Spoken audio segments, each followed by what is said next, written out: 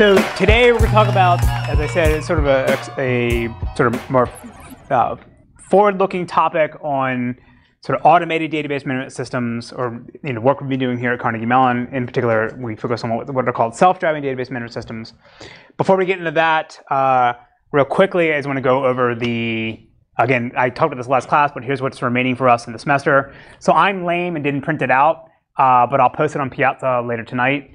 Um, but it's, it's basically going to be pick your favorite paper and, and write a you know a, a, short synopsis of why why or why not you think it could fit into the system we're building here.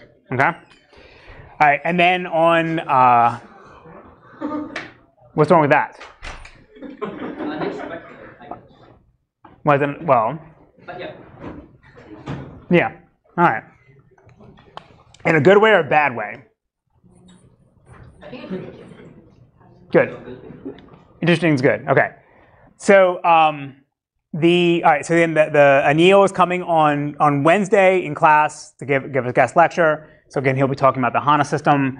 Um, and he, that he, he, he, his background was he worked on Sybase up in Canada He did his PhD at Waterloo, and then Sybase got bought by SAP, and they transitioned over to um, to work on HANA. But he can answer, you know, if you have questions about Sybase, the old school stuff, or the newer stuff, he can answer both of them, which I find is super fascinating. And then this is the stuff that you have to do for the final project. Code review coming up. Uh, the final presentation will be on May 6th. Again, we'll meet at 9 a.m. I'll send an announcement for that. Uh, our friends in database companies are sending you guys t-shirts. Everyone gets a free, everyone gets a database group t-shirt. Or I'm sorry, everyone gets a database shirt, not necessarily from the CMU database group, but pick your favorite database company and we'll have shirts available for everyone, okay? And I know some of you guys uh, are interested in TiDB because they're the Chinese database company. They're sending us shirts, like they contacted them this weekend. So we'll have Chinese database company shirts as well, okay? And then we'll do the code review drop. Uh, so the code review, I'll do the 11th, and then the final uh, code drop will be May 14th because I have to get grades in, I think, by the 15th or the 16th, okay? Because some of you are graduating. All right, any questions about any of this? Boom. Final code drop doesn't have to be the same as the final code review. They're different. So the final code drop is like you you giving me yeah. like the final design document. You you've uh, addressed all of the concerns and comments in the reviews. But like there can still be new functionality or features added after the review. Yes, okay. that's a bold move. but if you want to do that, sure. Okay. Okay. Any other questions? All right. So today's agenda, again, I, I want to start off talking about, uh, I want to start off talking about what people have been doing in the space of autonomous database systems, right? You know, self-driving is the buzzword that people are using now because of self-driving cars, but people have been doing this for 45, 50 years, or at least trying to. So we want to understand what people have tried in the past, and then we can then see what's different about what we're trying to do, in, you know, in, in, in the modern era.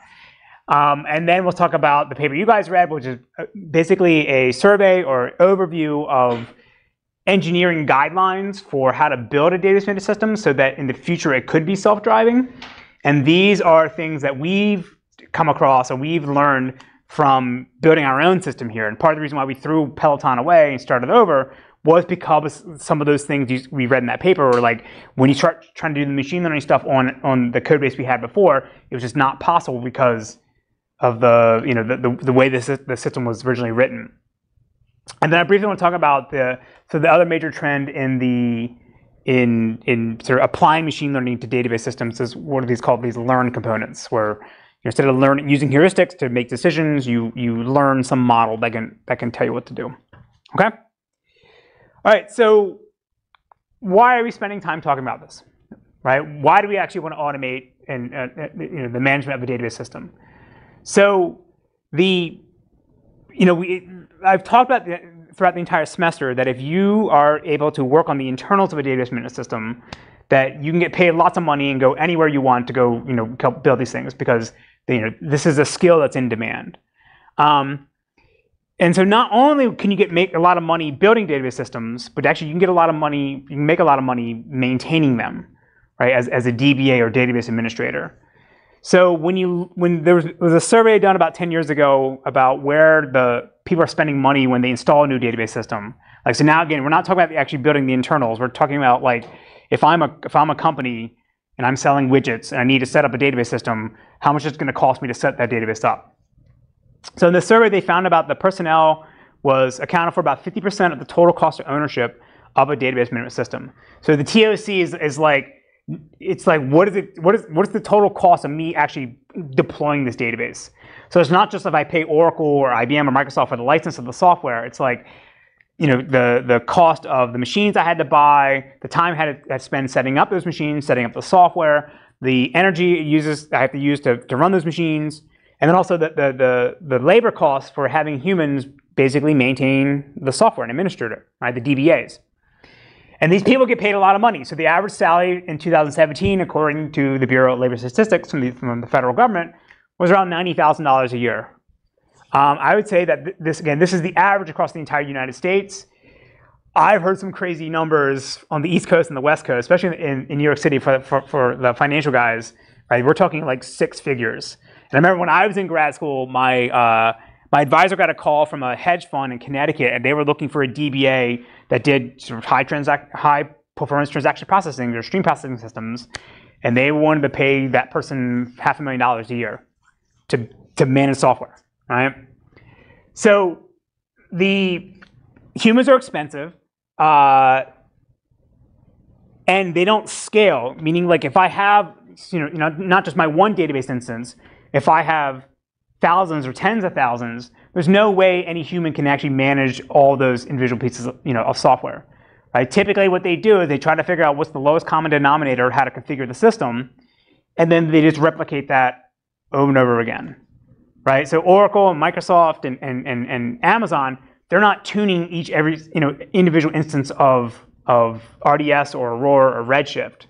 Right? They are you know, they'll come up with a basic configuration, but they sort of leave the, the, the, the nitty gritty details of how to actually set up the schema and things like that. They leave that to the humans, right? And of course, again, again, it's expensive. So people recognize in the early days of database management systems, especially relational database management systems, when you had this abstraction layer between the logical configuration of the database, the schema and the queries, versus the actual physical organization of the data and the execution of those queries. Like, since we're decoupling those things, right? It was assumed that the data system would be smart enough to be able to figure out the optimal way to configure the system. So people people recognized in the early you know 1970s that oh we have this issue where like if we need to be able to figure these things out automatically, uh, how are we actually going to do this to get the best performance? So what's different though is from what we're going to talk about today is and at a high level it's essentially the same, uh, it's just they come up with a different label or different terms over, over, the various decades. So going back to the 1970s, again, with the first relational database management systems, the buzzword or the term at the time was called self-adaptive systems, so self-adaptive databases. And so these early systems were focused on, or tools, were focused on solving what are called physical design problems, or physical database design problems. Right, so the most classic one is picking indexes, right? If I have a bunch of queries, uh, what indexes should I build to, to speed up those queries. They also were concerned about doing partitioning and sharding key selection. So if I want to split up my tables across different uh, to different you know, physical disks or different machines, how do I pick some attribute to split them up on? Whether I'm using range partitioning or hash partitioning, it doesn't matter. And that way, again, I, I get the best performance of my system. And then data placement is sort of you do after partitioning. So after I decide how to split up my, my, my table into partitions, where do I actually physically store them? So at a high level, these early tools work the same way that, that the tools work now. It's just the, you know, now we're doing machine learning stuff, you know, the machine learning magic to make this all work. So the way it basically works is that you have some human DBA, and they're going to prepare a, a sample workload trace comprised of the queries that the application executed, right? And, and in our case, it's going to just be the SQL statements that the, that the application submitted to the database system. And let's say this example here, we want to we want to have a tool, a self-adaptive tool that, that can pick indexes for us. So what we need to do is we need to then feed this this this training data, this this workload sample into our tuning algorithm, and then this is going to do some kind of computation on the workload trace and try to derive some information about how the queries are accessing the data. So, and the most simple, simple way to do this would be, in this case here, if I'm trying to pick an index, I just count the number of queries that touch each column. Right? I, I can build a histogram for that. and then this internal tool is going to have its this, this tuning algorithm is going to have its own internal cost model that's going to try to, to, to, to figure out what indexes could actually matter to be, right? And come up with a bunch of candidate choices. And then it uses that internal uh, cost model to be able to say, you know, this one will provide me some greater benefit than another one, right? Of all the possible choices I could have for what index to build, I know that this one's going to help me the most. So then these tools then spit out that, that information or that selection as a recommendation to the human. But it was up for a human to then take that recommendation and then actually apply it to the database system. And of course, this is where the, you know, there's sort of like this disconnect between what the tool says and what the human actually needs to know about how to deploy it. Right? So it's not enough just to say, like, I looked at my query trace from the past, and I think this index is going to help me. The, the, human also needs to reason about, well, what's the right time to deploy this action? What time's the right time to build the index? I know my demand is low at Sunday morning at 3 a.m., so that's when I'll go build and re-optimize all my indexes. They also need to be aware of what the workload trend is because maybe the sample workload trace I gave it was for you know some some low point in my in my in, you know in, during the year, and the types of queries I'm executing at that time you know are going to look a lot different as I get closer to the holidays. All right, when maybe doing more updates, and therefore I want to know I want another di different set of indexes. So even though this algorithm can figure out based on the workload trace you gave it what was the best index, there's a bunch of extra extra information that the human has to reason about to make decisions about whether this recommendation was correct or not. Then the human also needs to, to reason over time, uh, has my workload changed enough where the recommendation in the past still makes sense now? Because you know, I'm, the index, the best index today might not be the best index for tomorrow. And these tools can't handle that. So just to give you an idea, just to again, emphasize that people have been thinking about this problem for a long, long time. Uh, one of the earliest papers on doing self-adaptive databases with index, index selection for self-adaptive databases was in Sigmod, written in 1976. And actually, this was written by my advisor and advisor, who's dead, right? So again, people have been doing this for a long time. And actually, the guy's name was Michael Hammer. His daughter is Jessica Hammer in HCI. She's professor over there, right? Um, so small world, I suppose. All right, so so this was for index selection, but partitioning, sharding keys, uh, the, the, data placement, at a high level, they all work the same way, right? There's some internal cost model that you, that you use, that you derive from the, the sample workload trace, and you use some kind of algorithm, some kind of search to, to make a decision. So then we entered the era of the, in the 1990s, instead of calling them self-adaptive databases, they were now called self-tuning databases. But at a high level, they still work the same way. You prepare a workload trace, you feed it to an algorithm, the algorithm then crunches on it and spits, back, spits out a recommendation, and it's up for a human to decide whether that, that recommendation was a good idea or not. The one thing, though, that, uh, that was different, um, that sort of was a, a, big breakthrough in this, in this era, came out of the Microsoft Auto Admin project. So Microsoft in the early 2000s, for like a 10, 15 year period, they were sort of at the vanguard of doing automated you know, database optimizations and it all came out at, at this auto admin project. So they were doing like index selection, sharding keys, materialized views, a whole, whole bunch of other things. Um, it's, it's really fascinating. So one of the key contributions that they came up with was instead of having the database, the, sorry, the tuning algorithm have its own internal cost model to try to, to, try to figure out, you know, what was a, you know, a, a, a good choice of an index. They could just actually leverage the, the, the database system's built-in optimizer's cost model the things we talked about in the last lecture and use that to then figure out what indexes actually are going to make sense, right? And the reason why they did this was because there, otherwise this, this, there, there would be this disconnect between what the tuning algorithm thought was a good index and what the data system thought was a good index, right? I may end up saying, oh, I think this index on AB is a really good idea, and therefore recommend that. But then when you actually run the real queries, the optimizer is like, that's garbage. I don't want that at all, right? So, so by leveraging what's inside of this thing, right? It's essentially doing the same thing, trying to determine like what you know what indexes would I pick for my diff different queries. And so rather than re reinventing the wheel in, over here, you just use use that. Um, so there's a great uh, paper from uh, Surajit Chaudhuri uh, from 2007. So it's called the, the Self-Tuning Data Systems, a, a, Decade of Progress. So this is a retrospective of the work they did over a 10-year period, all in the space. And this sort of covers the main, right? The, the, the, main problems of trying to do automated uh, database tuning and database design. The, so, in, so again, so they were, in the self-tuned databases, they were doing the same things that the self-adaptive systems were doing. So index selection, partitioning keys, and data placement. But the other thing that these guys also worried about was doing knob configuration.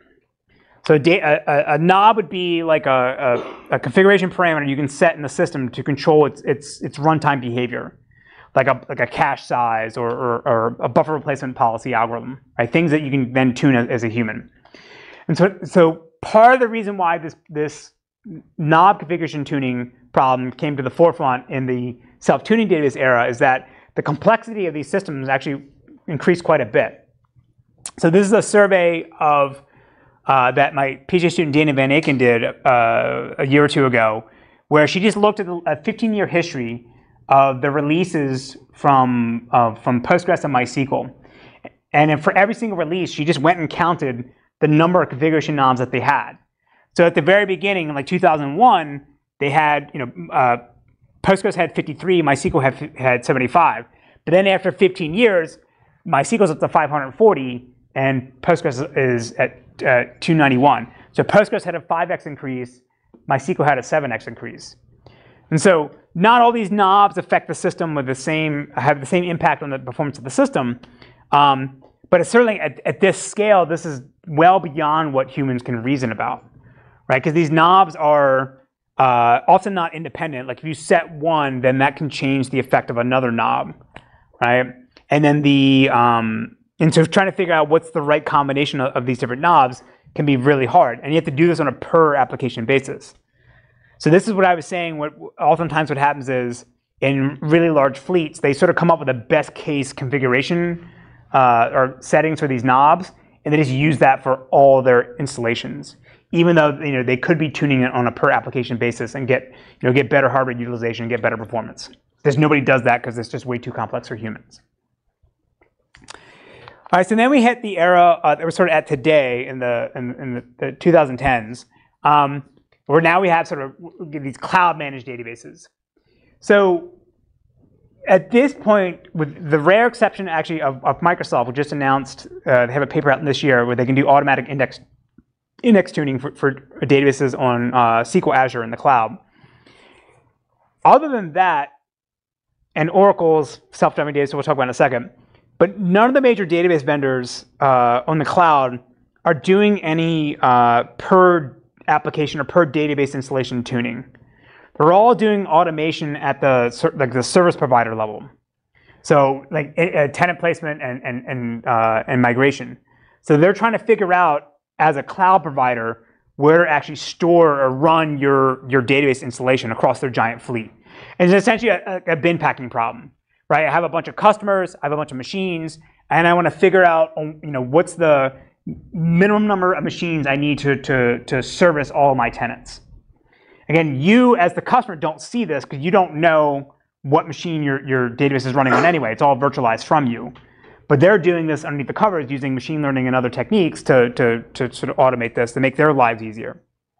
But again, other than the, the SQL Server example that I said, like nobody's actually tuning each individual installation, right? They're using a sort of a best case scenario.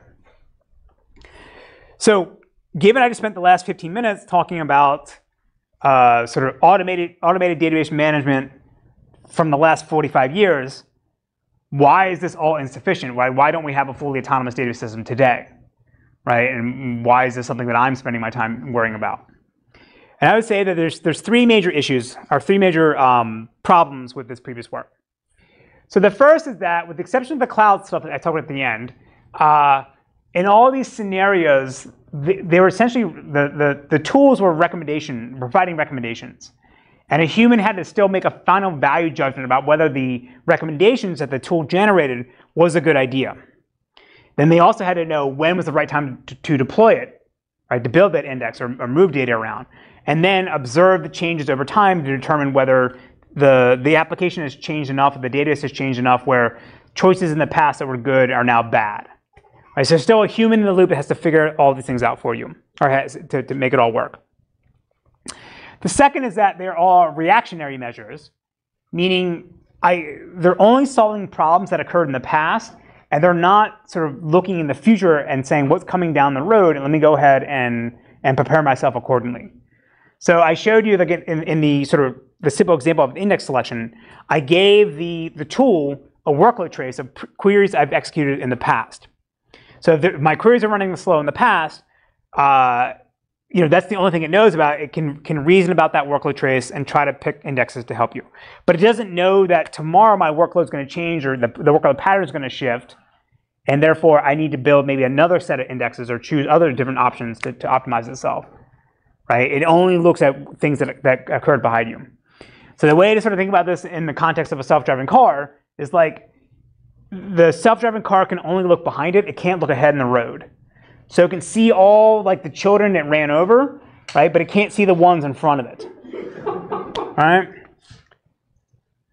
And again, humans humans handle this, right? For Singles Day or Black Friday, they know it's coming because it's on the calendar, it's circled. So they go ahead, and prepare the database system accordingly, right? You know, weeks weeks ahead. These tools don't know anything about this. And the last one is a bit more nuanced, but the way uh, the thing about transfer learning is that every single database installation is uh, with some, there's some rare examples in the newer stuff, but at least in all the examples I showed here, they were always treating the database as sort of a, a, an island by itself and only reasoning about how to optimize uh, you know, just that single database instance.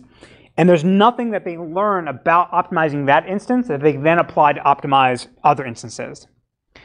So if I come along uh, today and I have my, my, my one database instance and I use these tools to optimize it, I come along tomorrow with a different database that looks slightly different, has a different set of queries. The tools don't know anything, can't apply anything they learned from the, from the first job and apply it to the second one. They're sort of starting from scratch each time. Now this is slightly changing. Uh, again, some of my own research here tries to handle this. Um, things also get super hard too when you start dealing with variations in hardware and some of these algorithms we, we, we, can talk about later. But the bottom line is, again, all of these tools assume that I, it was running a, a, a, single job or single search to try to optimize your one database instance, and then tomorrow start all over again.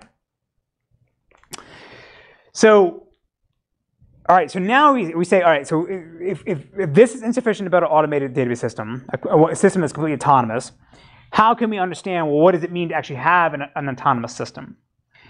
And so the, the way I like to think about this in, this, in the same way for self-driving cars, there's now this like industry standard to define the different levels of what it means for a car to be self-driving, a car to be autonomous, right? There's like, there's, I think there's like six levels, and it has to do with like, as you, as you increase the level, there's the, the human has to do less.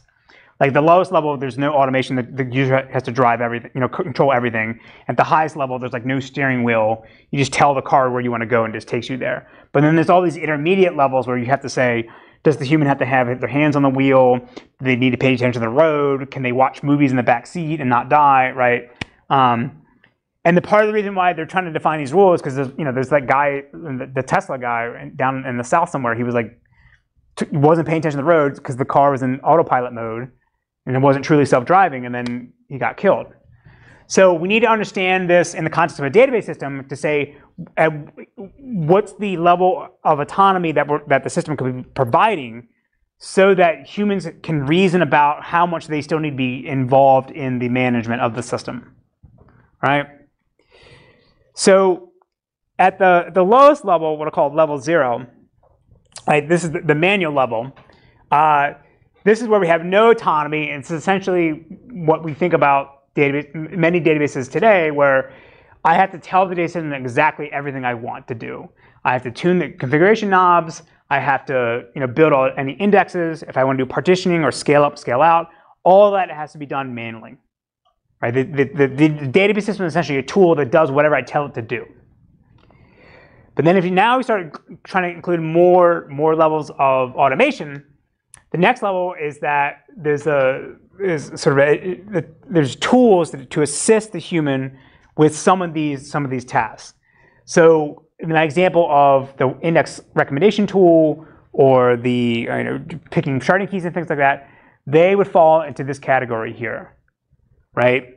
yeah, I feed it some data, it crunches on it, it makes back recommendations, and then a human has to then reason about whether those recommendations were a good idea, when to apply them, and then to, to observe whether they're helping us over time.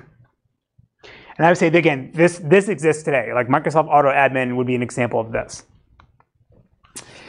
Then you start getting into more interesting things. Uh, so the next level would be what I call mixed management. Um, and the idea here is that the database system can manage some parts of the system automatically, and the human can still manage all the other parts as just as it could before. And then the, the, the, sort of the two need to make sure that they don't trip over each other and, and, and you know, put the database in a, in a weird state. So in this case here, the, the, the, the system always defers judgments, calls, or changes to the human. So if the human says, I want to do something, the and the database system says that you know its policy is saying I want to do something different, it always defers to the human. So this exists now in uh, for some some systems have some components support this kind of uh, operation. So Oracle has their it's called the self-managing memory, and basically what happens is I tell it to figure out how to to, to allocate the, the, the, total amount of memory that's available to the system to different parts of, of, of, of the, the database. So how much do I want to use for a query cache, for the buffer pool manager versus like a Java cache. They basically have some heuristics that look at how your application is accessing the, the database, and it can have rules to assign you know, different allocation slices for, the, for that memory. Then we get into uh, what are called local optimization. So this gets a bit more advanced now, where you have uh, the subsystems in, in, the, in, the, in the database can now adapt themselves without any human guidance.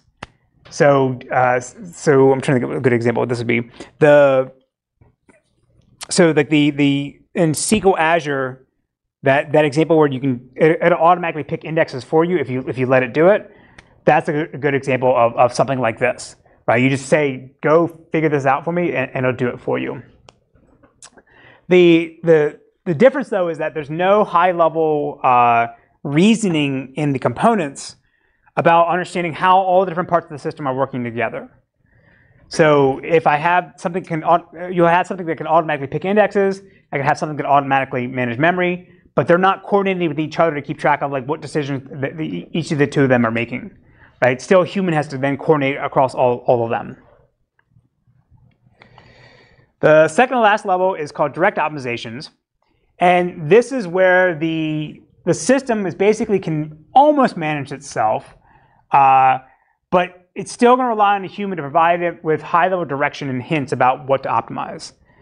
So you have to be able to tell the system, hey, Singles Day or, or Black Friday is coming, or Cyber Monday is coming up go ahead and, start maybe thinking about how to pre-allocate itself or, or, to scale out or scale up the, the resources. There also maybe some cases where the, the data system will end up in a weird state and it says, I, I don't know how to optimize this, I can't make things better, and then it can call out to the human and ask for help.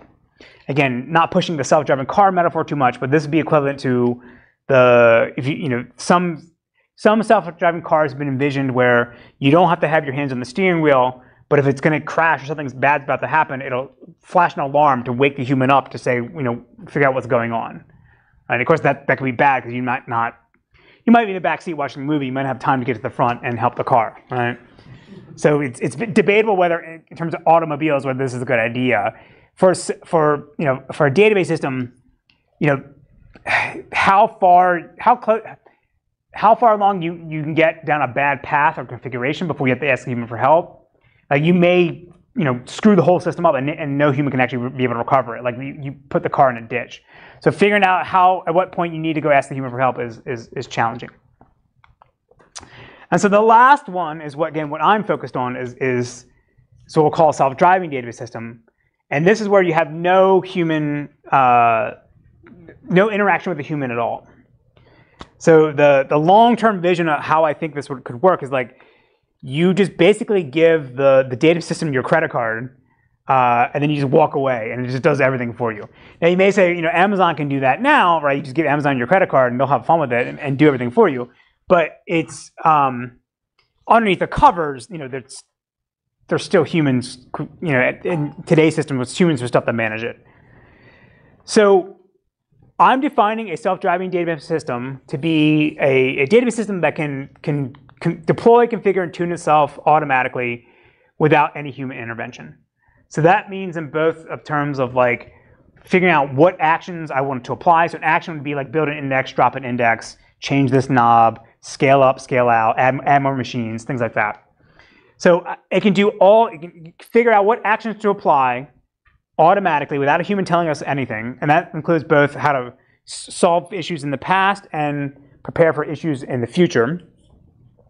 Um, and then we, the way it basically works is that you tell it that this, I have some objective function or service level uh, uh, a requirement or agreement that says, I, you know, I need to have all my transactions complete in 50 milliseconds, or I need to be able to process a million transactions a second. You provide some, some, some higher level objective function, and then applies these actions to try to figure out how to, how to go and do it. So it'll select actions automatically. It'll know when's the right time to apply them based on what my workload demand is, what the action is actually going to do, how long it's going to take to deploy the action, right? What changes, how's, you know, how's that going to affect certain queries. And then after it applies the action, it's then able to observe the change that it made, learn something from it, hopefully, and then feed that information back into its models and refine its future decision-making processes. So the idea here is that we're sort of completing the loop that the, the earlier guys didn't couldn't do, right? So they could do, you know, select the actions, tell, tell you which ones to, you know, you want to choose, tell you which ones you want to apply to improve your objective function, but they couldn't tell you when to apply it, and they couldn't learn anything from after you after you applied it, right? That's the sort of second half of the loop that's missing. So our goal in, in building a self-driving database system is to complete the whole thing. So again, I'm being very, I'm going to be very vague here about the machine learning side of things, just because this is the part that we're still working on and we don't have an answer for yet. But at a high level, we think the roadmap of the system we're building here looks like this. So you have the database management system, and it's executing SQL queries for the application, because this is what it normally does. And it's observing what happens when it actually runs these queries, like these internal metrics about like how much CPU did I spend in this operator, how much memory did I use to do my sorting. So as it executes the queries, it then feeds that into this modeling component, which will build these internal models that try to forecast what the workload is going to look like in the future. Tries to say, here's how much memory my, you know, my, my hash join is going to take for queries that look like this, or my, or my database looks like that. We then feed these models we generate into a search and planning component, which then is going to do some kind of search to figure out what actions are available to me to help me improve my objective function. What is my workload going to look like in the future based on my forecasts? How will the system react to, different changes in, in, in my you know, configuration based on the actions I apply? It's then going to choose some action or sequence of actions that they think is going to have the, uh, the most benefit to the system's performance based on its objective function. It then takes the action that it selects, actually then go, goes ahead and deploys it, observes the change while, while it's, it's, it, the action is being deployed, then observes the change afterwards, and then repeats this whole process all over again. So I apply my actions, I continue to execute queries because that's what the application is asking us to do, and I observe whether, whether it's helping me or not, and I feed that back into my modeling phase. Right? So what, again, what is different between what was done before? Uh, we need to know where to actually deploy our, our actions, right? What, what parts of the system should we target based on what our objective function looks like? Like if we look, if we look like we're CPU bound, then maybe we want to choose optimizations that will be less expensive than CPU, but maybe use more memory. Um, we want to know how to actually want to deploy these. So in all the other previous examples, I said, you know, the, the recommendation tool would say build this index. But it wouldn't tell you how many cores or threads you want to use to build the index, how aggressive you, you should be in it, where it should actually store the index, right? All that needs to happen here. And we already talked about uh, when to deploy.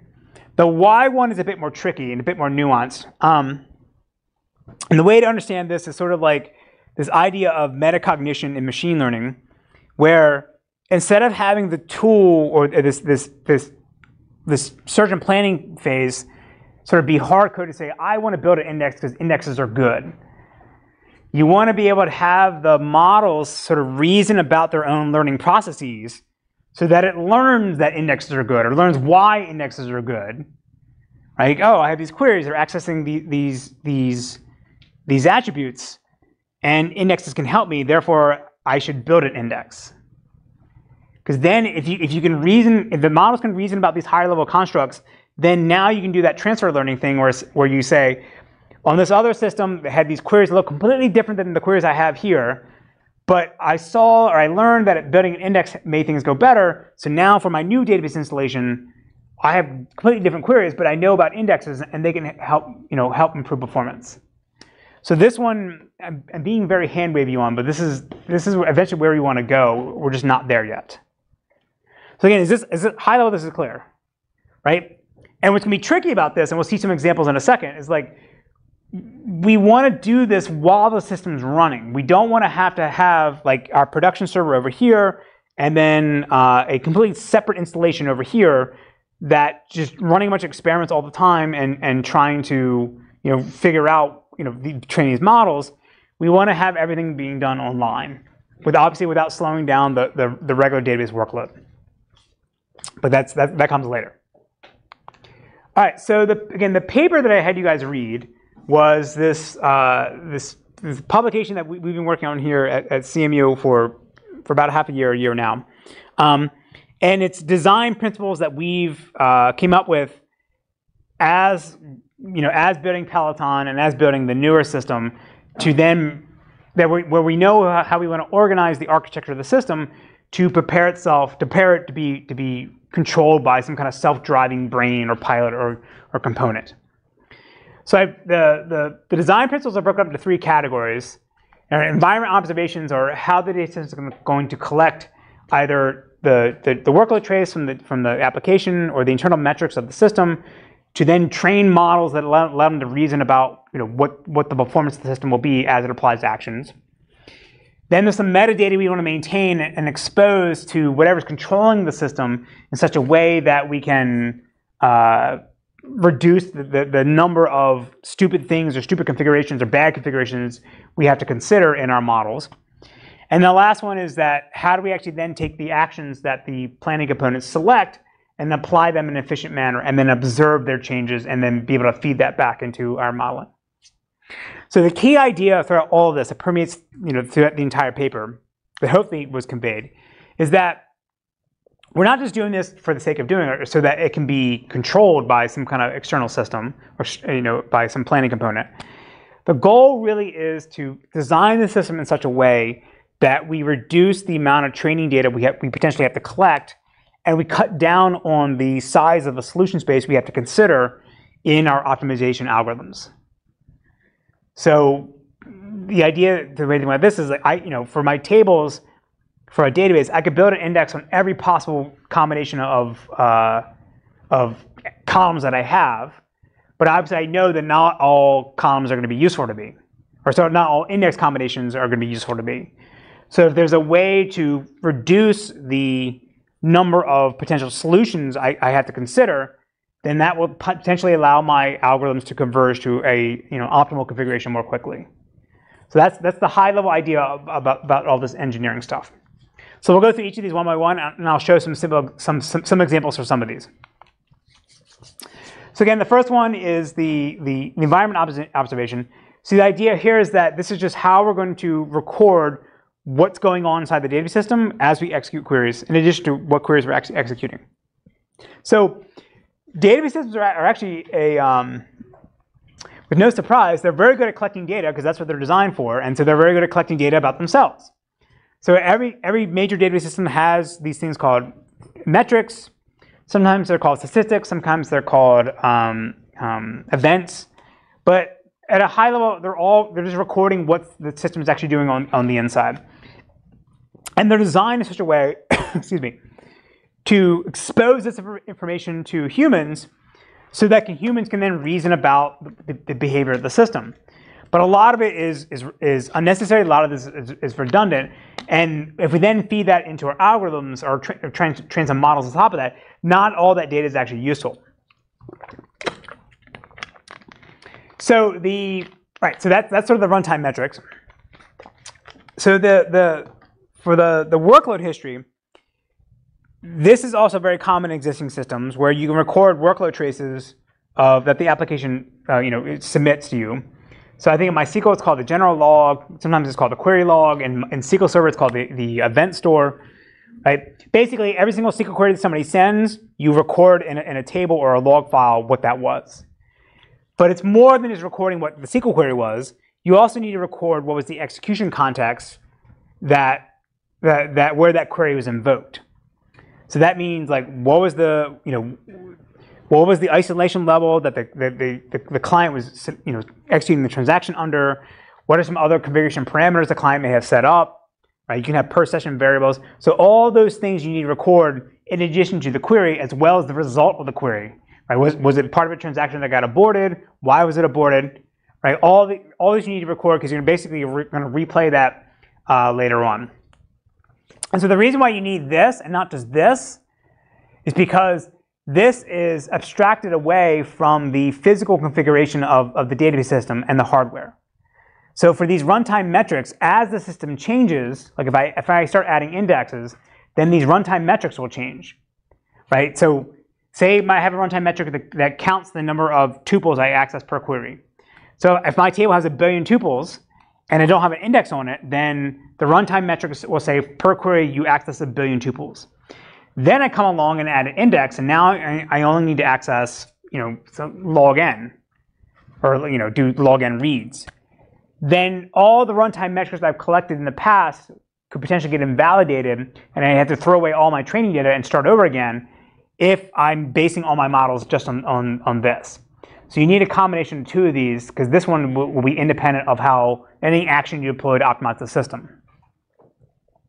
The last one is the database contents. This one, I don't have an answer for you because we don't know how to do it yet. But basically, I need to know what, what did the database look like at a, at a particular snapshot in time for then for me to be able to reason about why queries performed a certain way. So let's say I have my workload history. I see that query that, that touched a billion tuples. Or sorry, I see the query that is a scan, sequential scan on an entire table. I see a runtime metric that says this tuple, this, this query touched uh, you know, a thousand tuples. Then I see that same query again, and now I see it, it touches a billion tuples. Has the query changed, or has my configuration changed, or is it because the database contents have changed? So you need a combination of, of, of all these three things. So for runtime metrics, a really important thing uh, you have to worry about is to make sure that you expose all of the information about any subcomponents that you have in the system um, that you expose all the right metrics you need to be able to figure out what's actually going on for this. So I want to give an example of what I mean by this using, using RocksDB. Um, so this, this would be an example of, of not doing this correctly. Um, I've told the RocksDB guys about this. They, they said they're fixing it, but we haven't checked to see whether that actually happened. So RocksDB has the ability to set column families, uh, or set, set knob configurations per column family in a table.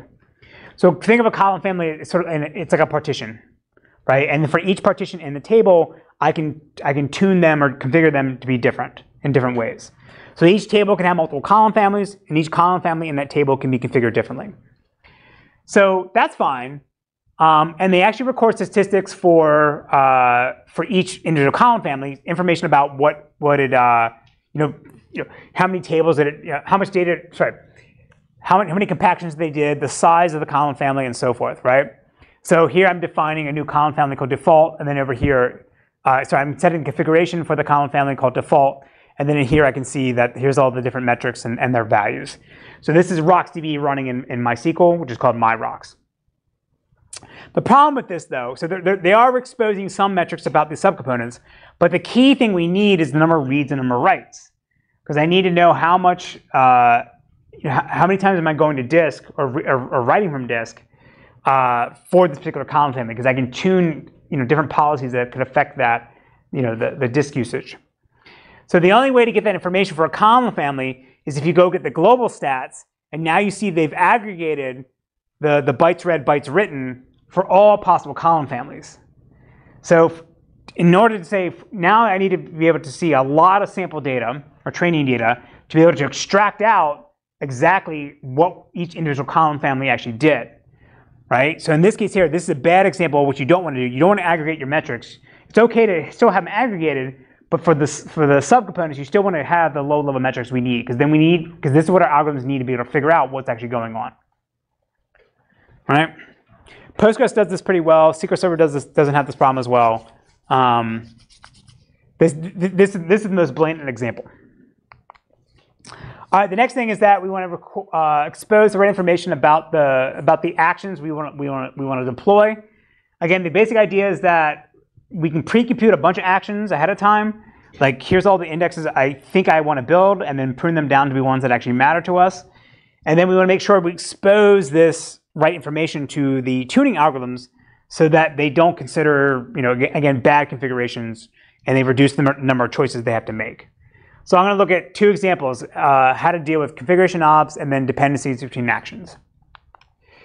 So the most important thing, the most obvious glaring issue we found when we were trying to do automated tuning in, in, in with OtterTune, which is another system we were building, is that, again, these systems are designed for humans to manage. So they'll have a bunch of knobs and they'll let anybody tune them any way they want. But the problem is some of these knobs, again, require for a human to make a value judgment about whether tuning them a certain way is a good idea or not, right? Because uh, for some things it's obvious, like file paths, network addresses, and, and isolation levels, right? For these things, like, like if I don't set these correctly, then the system just doesn't boot, or I can't talk to it, right? For other things, though, like durability and isolation levels, these are a bit more nuanced. Um, and the problem will be that if you let some kind of algorithm tune these things, it's always going to choose, it may, may end up choosing something that may not be the right thing for your company or organization. So say your objective function is throughput, or I want, I want my system to run as fast as possible, and you let it tune the durability. Well, the algorithm is going to learn that turning fsync off makes things run faster, so it's always going to turn that off. But now you might end up losing data, right? And the, again, the algorithms don't know, they don't care because it's a higher level thing, a human construct about losing data that we can't, we can't necessarily reason about. So essentially what happens is, the way this works is you need to have a little flag that says, you know, this is something that a machine cannot tune. This, this is only tuned by humans. And that way we don't consider these in, in our models. The next thing is that we need hints about how to actually, for the knobs we can tune, how to actually tune them. So most obvious things are like min-max ranges, right? And if they're bound by a hardware resource, you may want to, you know, like a, the number of CPUs, you may want to limit it to just, you know, to that, that number rather than being, you know, from 2 to the 32. You also want to have separate knobs to disable enable features, right? So a lot of times we see systems where they'll use 0 or negative 1 to mean turn a feature off, right? If you want, so one of them was like you, to turn off um, uh, how much data, you, if you want to limit how much data you can write to disk, there's a flag to go to, you know, you can set to, to, to, to modify this. But if you set it to zero, then in terms of all disk writes, which is again turning off fsync, and then again everything's in memory, everything runs really fast, which may not be what you want. So you want a separate flag to enable enable enable disable the feature, have that be banned by banned from being tuned by the algorithms, and let humans reason about that, and then we have a reasonable space of things we, we can we can deal with here. Another issue that's, that's related to reducing the search space is non-uniform deltas. And I would say this is, this is what I think is the right idea. My student disagrees. Um, we, don't, we don't know the answer yet. Right? So say you have a configuration knob that can set the, the amount of memory to use for uh, some kind of cache. Right? And it's, a, it's an integer, it's a 32-bit integer, so I can set it from 0 to 2 to the 32. But we know that every single possible choice along that number line isn't always going to be, uh, they're, they're not always going to be dramatically different from each other, right? So if I have one terabyte of memory, setting my, my cache size from you know, 900 megabytes to 901 megabytes isn't, isn't a big difference, right? So what you really want to have is you want to have deltas to say how the knob can be tuned, incremented and decremented, and then this, the size of that, that decrement can change with different values for the knob. So when I only have from one kilobyte to one megabyte of memory, maybe I want to do increments of 10 kilobytes. But if I'm over in between one gig and, and 10 and one terabyte, maybe I want to jump around by 10 gigs. And what this does, this reduces the, the, the, the, the search space of the algorithms and allows them to find, you know, to converge more quickly if they're up in this range to an optimal solution, rather than sort of looking at you know one byte increments each time. So in my opinion, I think this is the right way to do this. My student says, always have the same increment size. Just have a multiplier that says how many. You, just have it keep multiplying over and over again. Um, we don't we don't know, we don't know the answer yet. All right, the last category of things I want to talk about is doing action engineering. And again, the idea here is that we want to, it's just how we're actually going to deploy the, the action. So the most important thing, if you don't remember anything from this lecture or anything from this class, uh, I would hope not from the class, but from this lecture, is that there should be nothing in the database system should require you to have to have downtime in order to for that for that action to take effect. And that downtime could either be having to restart or just blocking all transactions while you make the change. Now, in some cases, like adding indexes, if you try to do it concurrently, at some point there'll be a small window where you may have to block things, but we're talking like milliseconds. Uh, when I say you know blocking transactions where the system's unavailable, I mean for like seconds, minutes, or hours. As far as we can, can think about, there's I can't think of anything that requires the system to have to go down in order to take effect. The problem is most systems don't do this. Uh, the commercial systems are slightly better than the open source guys, but a lot of systems will tell you if you, if, you know change some some buffer pool size or some some cache size, it will tell you I'm not going to take effect until I restart the system. The reason why this sucks, the reason why this is bad, because now in our algorithms we have to now consider the restart time in our in our cost functions, right? So if I say well, I'm going to make this change, this change is going to make me run two times faster. But now I'm to have to be down for 20 minutes while I play, apply that change. That requires a human to, to come in and say, yes, can, it's okay for you to be down for 20 minutes. All right? And that's bad because because the human's likely going to say no because you know you want to wait until you you have some window like Sunday morning 3 a.m. of when you want to apply all these changes. So if there's a bunch of changes you can't apply because you can only do it when you have a downtime window, now you can only do so many things during the day. Right? Again, you're, you're not going to collect a lot of training data. So what makes this even harder, not you know more than just asking the human permission to, to, to go down, the time it's going to take for you to, to, to restart or to, to, to, to complete the action and come back online can vary based on the state of the database and what action you're applying. So example I always like to give is, is the, the configuration parameter, configuration knob for the MySQL log file size. So if I set my, my original log file size is five gigabytes, and I set it to 10 gigabytes, I have to restart for in order, that, in order for that to take effect. But when I restart, it comes back up right away because it says, oh, my, lax, my max log file size is 10 gigs. I'm currently 5 gigs. We're good to go. And it comes back online. But if I'm 5 gigs and I set it to 1 gig, then I come back online and it starts compacting the log. And depending on the size of my, or sorry, the, the speed of my disk, that can take minutes or, or even hours. So now I got to build models that can try to figure out, oh, my state looks like this. I'm trying to apply this action. Here's how long it's going to take me to restart. And that's hard. That's just you know more more complication that we don't need. The next one is uh, it's it's useful for when you both have an external controller managing the system as well as for an internal controller, but you basically want a, a pub sub mechanism inside the database system to be able to keep track of when an action starts and when it completes. And we need this for when we record all that training data about the runtime metrics of what the system is actually doing to know that if we see a degradation in performance, it's because we're deploying an action like building an index and not because we're doing something bad, right? So what makes this hard is that for some actions, although not many systems actually support this, but there's no, there's no reason you couldn't, some actions can actually be used by queries to speed things up before it's actually fully completed. So now how do you account for this in your models is, is a bit tricky. So like, for example, if I, if I say create an index, some queries could start actually start using that index before it's actually completed. I mean, you have to do, you have to, you know, make sure you don't have any false positive, false negatives. But you, there's no reason you couldn't check the index, see whether the thing is is is there, if it's there, then you're done. If not, then you fall back to, to the sequential scan on the table. But now again, now like I'm, I'm getting a benefit of an action. I'm seeing an, uh, an improvement in my training data for an action before it's actually completed yet. And that, that that's an example we don't know we don't know how to deal with that. All right, the last one that I'm really excited about, and what we're going to work over the summer, is the ability to leverage the fact that we, we're using replicas in high available configurations to collect more training data.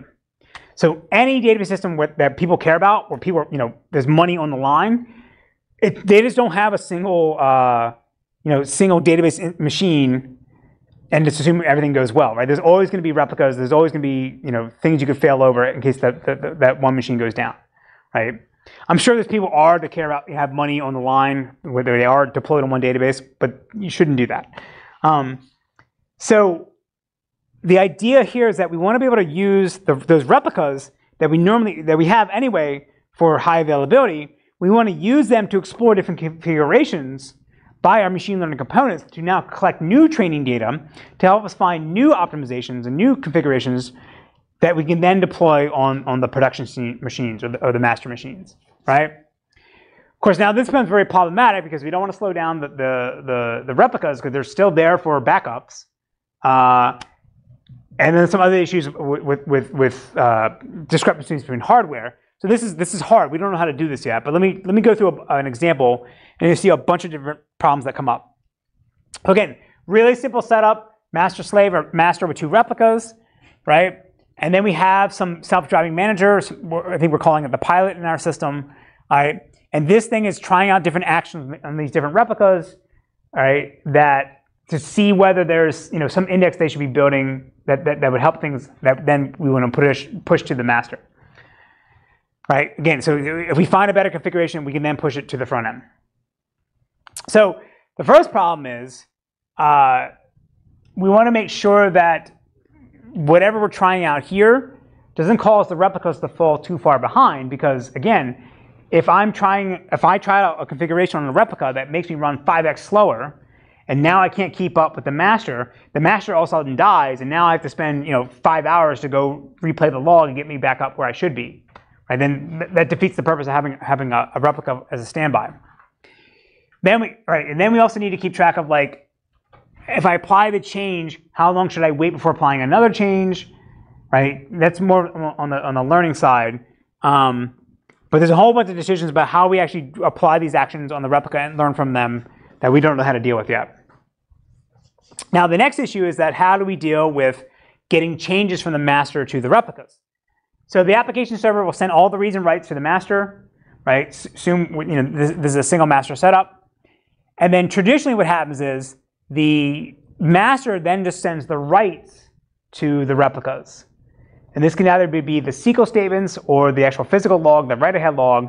And these guys are, are essentially always in replay or recovery mode we're just replaying whatever comes over the wire, and then that's how they're trailing along with the master. So now the problem is, right, so first question is, what should the log be? Should it be SQL statements or physical log? So if it's the if it's SQL statements, then you, it's actually going to run through the whole the, you know, query execution pipeline. So as I'm collecting all the runtime metrics for the different parts of the system, the, all those parts will get tickled or get, get exercised. So I'll have training data for those different parts. But if, I, if I'm just replaying the physical log, then I'm bypassing the execution engine, I'm bypassing the query optimizer and the parser and all that you know, high level parts, and I'm just applying the changes directly on the SQL table or the data tables.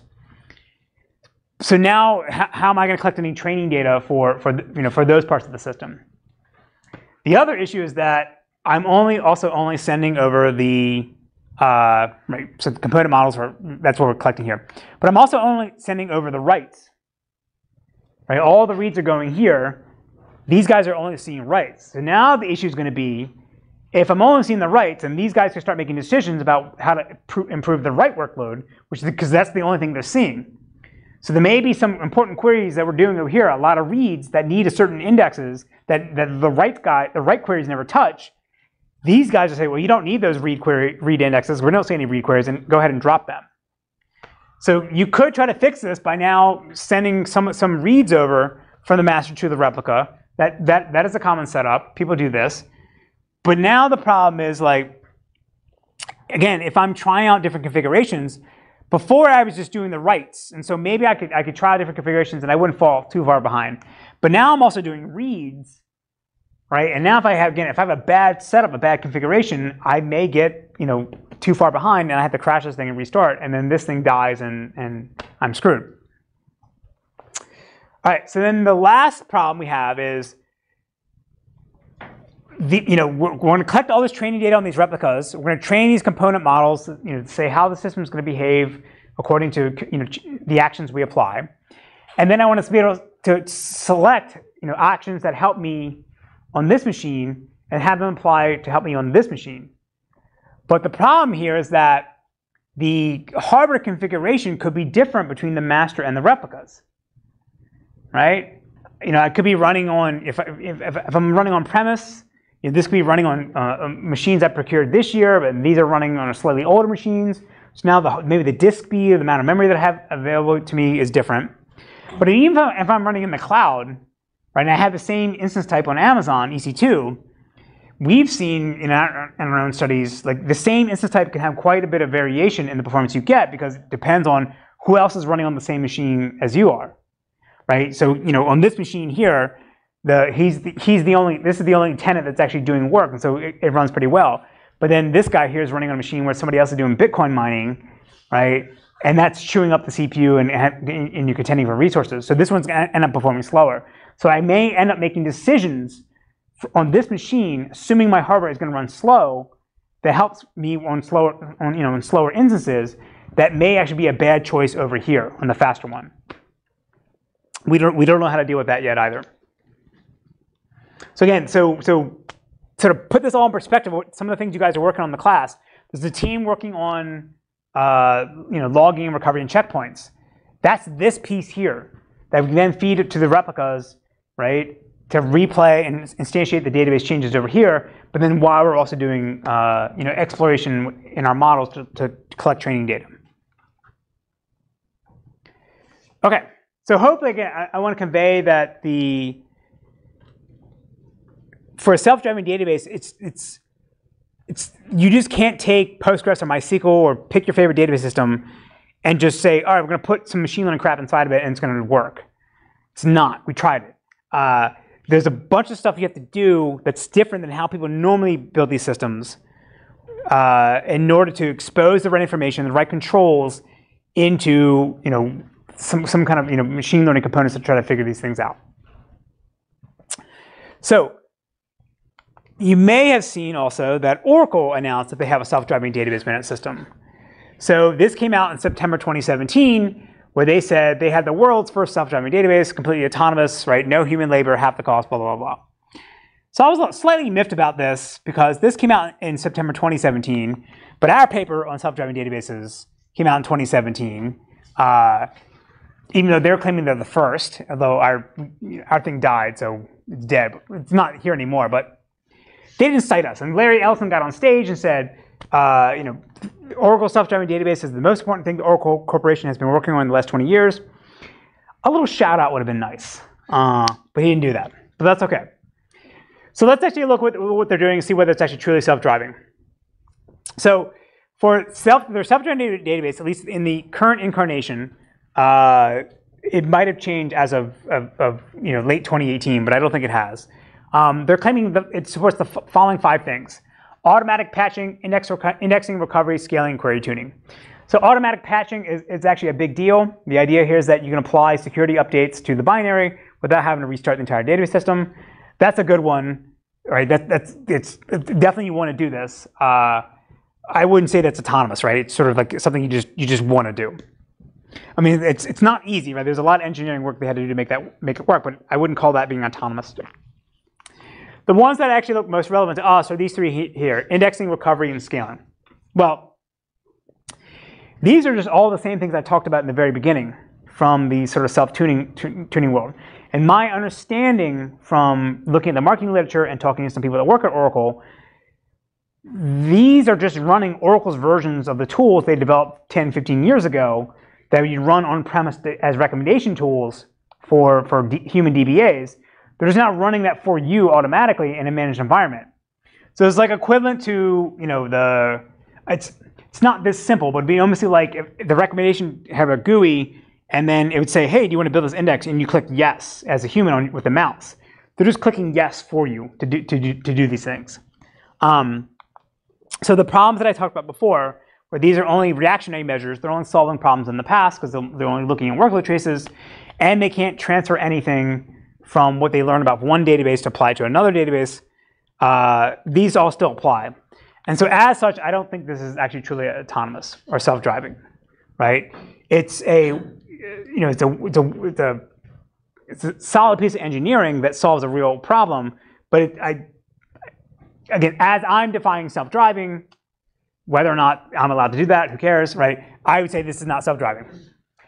Right, the last one is that they're doing automatic query tuning as well. So this is another important aspect of, of database management that humans spend a lot of time on, which we, re we really didn't discuss. Um, and again, it's what we talked about before. We, we, we said that uh, the query shows up, I run it through my optimizer, the optimizer says, here's, here's the best plan I can, I can find. I then run it, I then see whether if, if, if the estimations that my cost model made about what the data look like versus what I'm seeing on the real data, if they start to vary, then I can go back and ask for a new query plan. So as I said, this, you know, this is not new. It's not unique to Oracle. SQL Server uh, 2017 added this adaptive query optimization feature. We've already talked about how IBM had something in the early 2000s as well. Can anybody think of another system that does something very similar to this that we talked about on the first day of class, the first time we talked about uh, query optimizers? What was that early, the earliest database system I, that, that, I talked about? We're doing, you know, sort of query optimizing for on a per query basis or per tuple basis. It's Ingres, right? Ingres is essentially it's at a high level doing the same thing. Right? It's taking your giant query, decomposing it into these single tuple or single table queries, and then it runs the optimizer on that. So it's essentially doing the sort of the same thing where it's, a, it's adapting the query plan on the fly as it goes, rather than sort of generating it all at once and then seeing whether that matches up. So at a high level, this looks the same, you know, it's very similar to this. So again, this is the main takeaway is that automatic query tuning is not unique to, to Oracle. A bunch of other systems are, are you know, have, have tried this in the past. But the one, again, the, the, the, main thing is these guys here, the middle ones, and I would say that, again, because of these deficiencies in the approaches, uh, it's not it's not self-driving. Okay. Oh, slides. All right. Well, you. I'll, the next slide has it's missing this, but whatever. I'll, I'll talk through it. All right. So the so my research has been about this sort of self-driving system taking a holistic view about the how to manage the entire system. Again, the, the, the high level goal is that we, we, can, we, we, can, we can remove the need for humans to, to sort of babysit and maintain the software. Um, and, and obviously machine learning is the, is the way we're, uh, we're going to make this work. The current trend in research now, uh, was, was more common, more prevalent, is to replace the existing components of, of systems with what are called learned components or machine learning models that can, can provide some kind of functionality that human engineered data structures or algorithms are, are doing now. So the most obvious one would be the, the optimizer cost model. I talked about all last class how error prone it is, all these assumptions, assumptions we make uh, in, in the algorithms to you know, estimate the cardinality and selectivity of these predicates. We make them because it simplifies the problem for us. So instead of having, you know, maybe histograms or those sketches to approximate the cardinality of, of a scan, what if we build a deep net to, that could figure this out? You also see this in compression algorithms, data structures. We have a, we have a paper in a workshop this year doing scheduling policies for transactions. And the idea here is that rather than having a human design by hand the algorithm to use for making decisions inside the data system for its runtime components, I can train, train a model that can make better decisions on a per application basis. So the, the, the, the term of, that people use these are called learned components. So I, I would have had an example of, of one of them, but that's, that's fine. But the, the histogram is the easiest one to, to, to understand, right? A histogram is basically an approximation function to say, for a given predicate, here's the, the number of tuples that a match. So rather than having you know some formula to try to derive that information from the histogram, I can train a deep net that, that'll map some predicate to, to, to some, some cardinality value. In my opinion, I think this is very interesting.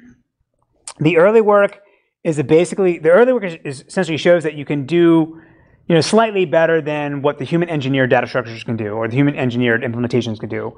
Where I think it's really going to go, which can be really exciting, is the ability to come up with weird and obscure correlations and uh, dependencies between different input features that humans just haven't even thought about.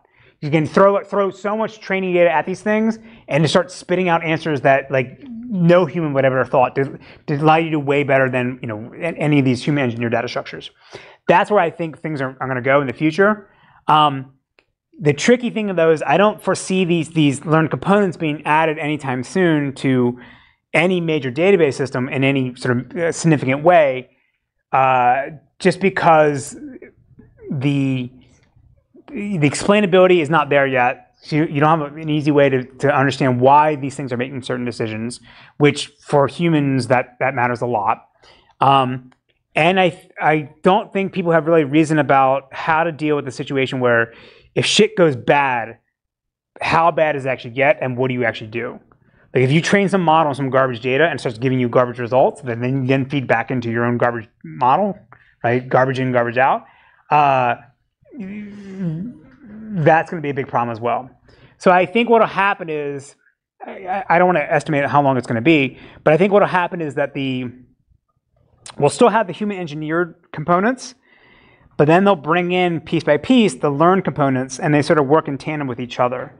And eventually, once we get to the point where people are confident that the learned components can can supplant the, the engineered ones, then then they'll, they'll overtake them. But I, you know, I, I, don't see that happening this year. The papers are just coming out, in, you know, SIGMOD and VLDB and another another you know conferences about one by one how to build machine learning models for these different parts, right? For for these different things here. But no one's really sort of sort of figured out this this sort of long-term maintenance or sustainability problem.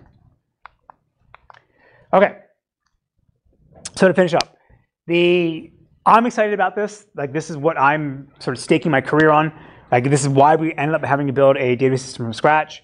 Uh, other than being fun, but I think like having tried to automate as much as possible is a is a, a daunting challenge, and we'll see whether we, you can get there. Um, I remember actually one of the reviews I had for a, a, grant proposal for the National Science Foundation. This is from two or three years ago. Uh, one of the I got the, the grant got rejected. It got later accepted, but that's fine. Uh, but the, one of the reviewers are like said you can't build a data system in academia and you can't automate everything that we want to automate. And so the fact they told us we couldn't do that makes me really want to do both of those things, and that's why we're doing it. Um, so I think in the next 10 years, we'll have what I'll say is a level five self-driving database management system. That I think that like the, the field is progressing uh, fast enough and that that we'll be able to just, again, you just give the system your credit card and it'll just go off and do its own thing. The main takeaway uh, that I want that I want you guys to get from you know today's lecture and the paper, whether you go off and build databases in the future or, or, or some other kind of system, you should really think about anytime you're adding a feature, not how is this, you know, this going to be controlled by a human or managed by a human. Really think about how it's going to be managed by a machine, right? Configuration knobs right now, the, they're basically a, a, a stopgap solution for engineers where they say, well, I don't really know what this thing should be, so I'll just make it a knob. I'll choose you know, a decent default and hope, and then someone who knows, what they're doing later on will come up, come and set it for me. You can't assume that's going to happen, and you want to make sure that you make whatever algorithm is going to tune it for you automatically. You want to make their their job easier. And so that, that means doing a bunch of things that we talked about today, exposing the right controls, exposing the metadata and low-level metrics um, in, a, in a meaningful uh, and meaningful way. Okay. All right, so that's it for the for the semester.